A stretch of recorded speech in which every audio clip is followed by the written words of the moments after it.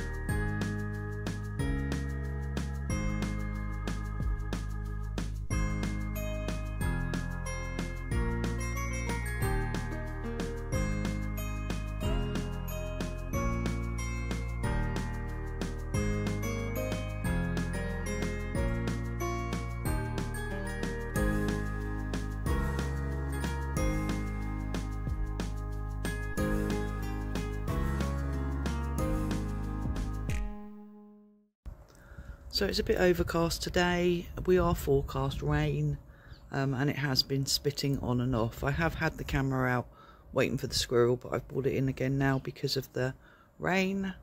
Don't want it to get wet. And guess where we're going today? Shopping. So I've just had a shower as I was really naughty and I didn't have one last night. Just come out to check to see if the squirrel's been. Two, four, six, eight. And somebody has taken two nuts. There was ten in there. There are now eight in there. Anyway, I'm going shopping now because I need to just pick up a few little bits and pieces. So we've just been to Aldi and picked up a few bits and now we are in, we're going to be, in this lovely shop.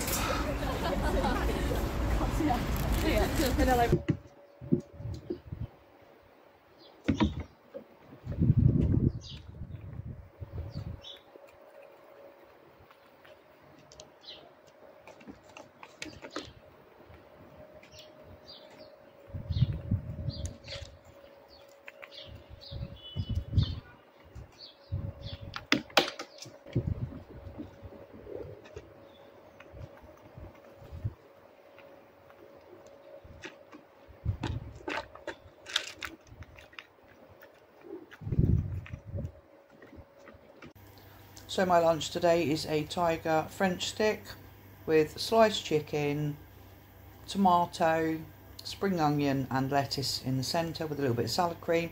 I've got a couple of these gherkins, sweet sour gherkins which I really like and I've got a few Pringles as I really need to finish off the pot that I opened.